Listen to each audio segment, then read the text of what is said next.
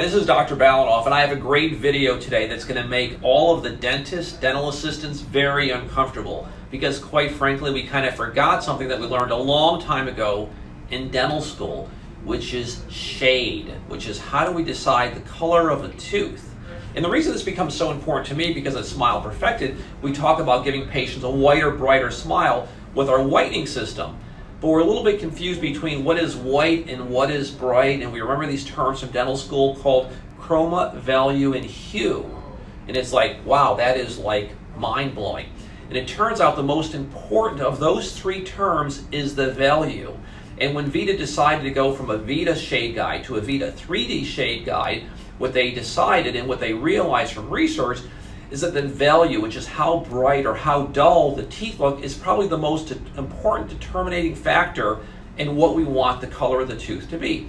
So what is chroma and hue? Well, hue turns out to be the color, whether it's red or it's blue or it's yellow. And chroma is the saturation of color, whether it's a light blue or a dark blue.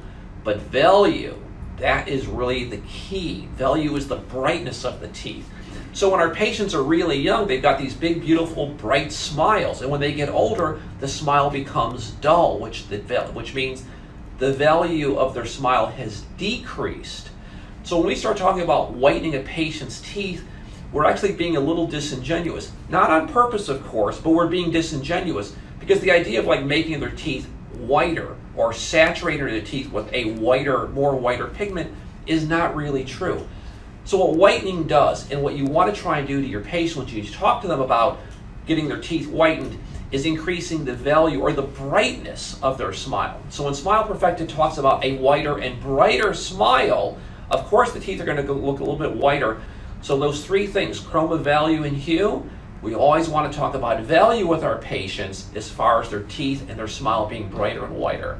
I know it's a little bit technical, and usually I talk just strictly practice management techniques, but here's the important thing. If you want to do more whitening in your office, talk about talk to your patients about having a brighter, whiter smile and always emphasize the brighter because that's what's going to work. Anyway, I'm Dr. Balanoff. I love talking teeth. If you like what you see, subscribe to our YouTube channel. We have so many more tips that are coming out all the time, and we'd love to notify you when they do come out. Thanks.